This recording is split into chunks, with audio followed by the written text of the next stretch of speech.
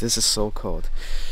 But you see, Canada is known for two things. It's long-lasting winter and it's beautiful fall.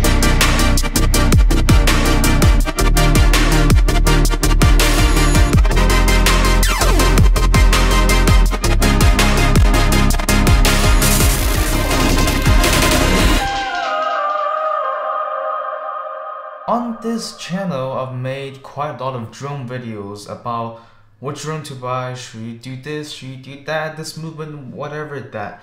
And there are always these very, very essential things that build up a drone shot. But there's also these little mistakes and things I wish I didn't overlook at the beginning when I first started flying my drones. And if you know me, then you know that I've got this drone since the beginning of this year. And through this whole year, almost a year, I would say, you know, it's already October now. I mean, by the time you're watching, probably November.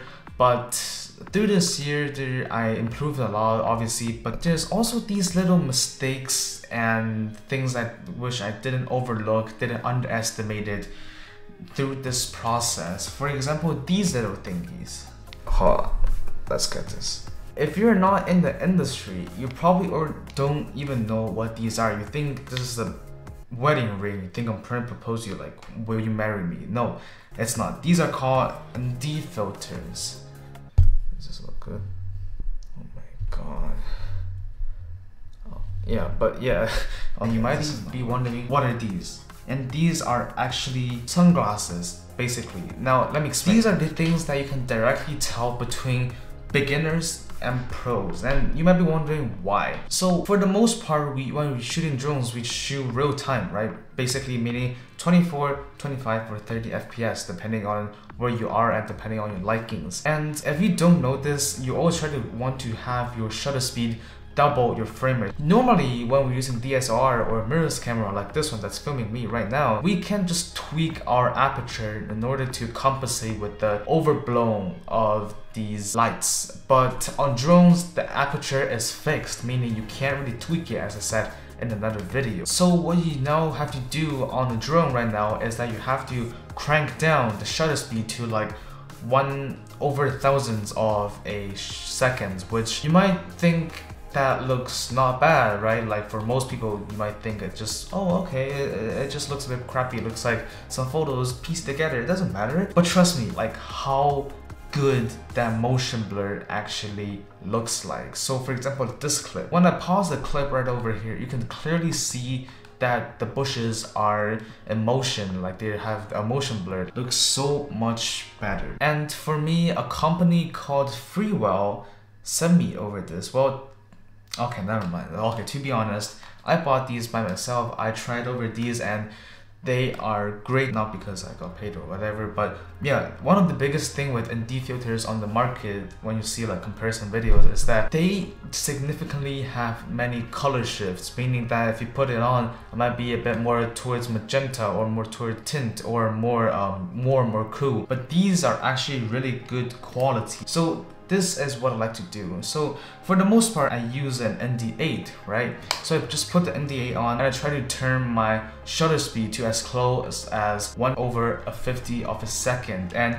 if it still is a bit blown out, then I will choose ND16 and most of the part that will be in the middle of the day. So yeah, you don't always have to be accurately amazing 1 over 50. It just have to be as close as possible. And this is like the thing that I wish I, con I convinced myself to buy the most when I started off with flying drones. If you want to buy anything, check out the link down in the description. Um, they're all affiliate from um, Amazon, so I can get a bit you know what I'm saying? Um, so if you want to buy, buy down in the link, support me, support this channel, and let's move on. Alright, if you've watched my 30 day morning run challenge thing, you're probably quite familiar with this place.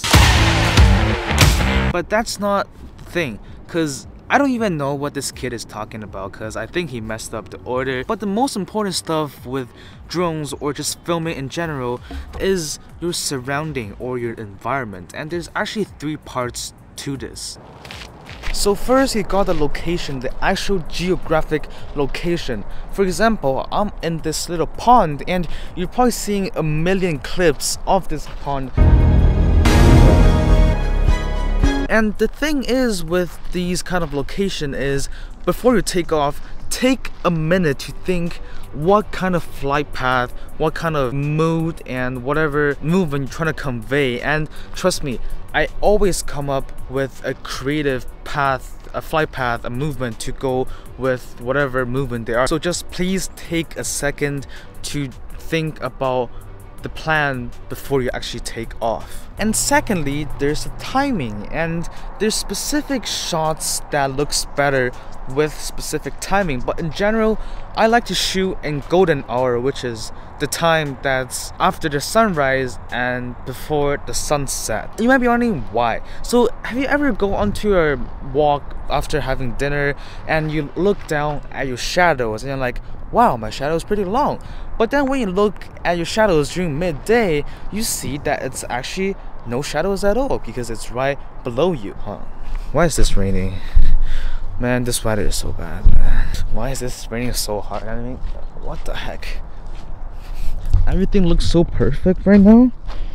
Like before I come out, but now it's just raining. I don't understand. Right. I think I'm just gonna quickly wrap this up because the rain is not gonna let me to see, speak more. All right, I'm just hiding under these little trees over here. But point number three, or say part three of this environment is your, huh? What is it? I forgot.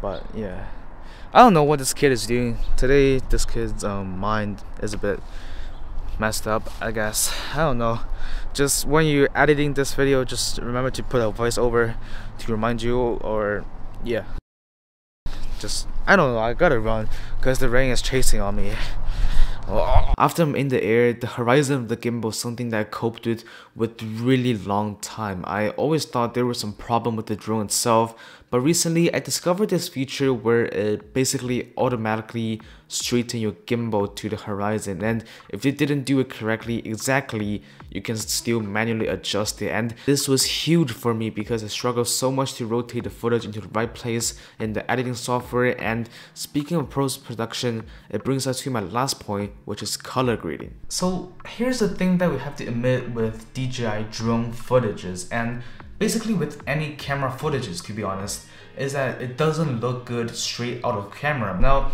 I don't want to get nerdy and technical so I created a LUT pack that I use on all of my drone footages but I am not going to show you my workflow because one of the biggest thing I found with tutorials is that let's say if you're a Premiere Pro editor and I use DaVinci Resolve when you see my videos, when you even see I open DaVinci Resolve, you will instantly click off the video because you know um, different task bars do different things and you just don't want to look at this tutorial anymore. So that's why I created this LUT pack and I'm sure that this is going to work on any software any editing software, even some mobile software. So just go download it, go apply it. Um, you can find this down in the link in the description. And yeah, just go and thank me later. I made quite a decent amount of drone videos on this channel now and I don't know if I should keep making them